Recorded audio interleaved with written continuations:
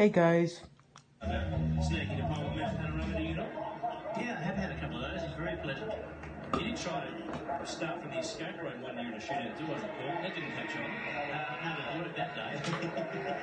you were able to actually to get through the corner more quickly. Got you a pretty good run to the pit straight. Here's the points in Car Masters. John Bowe leads from Jim Richards and Andrew Miedecke. This is the penultimate round. They've got a, another round of Sandown a little later on in the year, but John Bowe is in the box seat to win this title.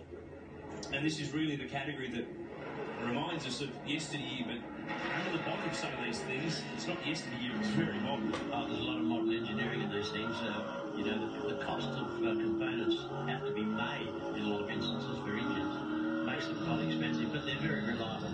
and that's. What they've done in this category. It's not strictly historic racing, it's kind of historic slash modern. Nigel Benson will be on board in the HQ Monaro. Second in Class B coming into this one.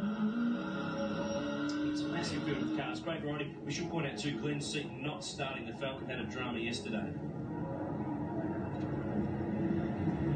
John Bowe, Andrew Miedecke pulling up to the front row of the grid. Sure. Wh- Which places?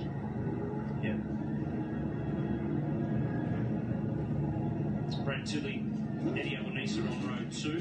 There's one of the Porsches with Greg King. They probably need a bit of help. They might need a turbo whacked at the back of that thing to keep up. Oh, yeah. That, every chance they can doze off, I think. John Bowe on pole.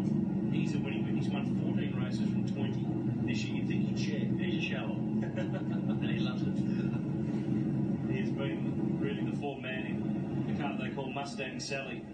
Great field of cars, great variety. We've got Monaros and Camaros, Falcons, Chargers. Greg Crick's been able to push the Mopar back car further up the grid, Porsches and Mustangs and HQs. Final race of the weekend.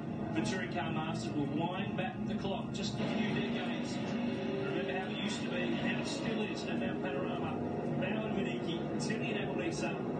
What are your Fords at the front? Can the GM products work their way?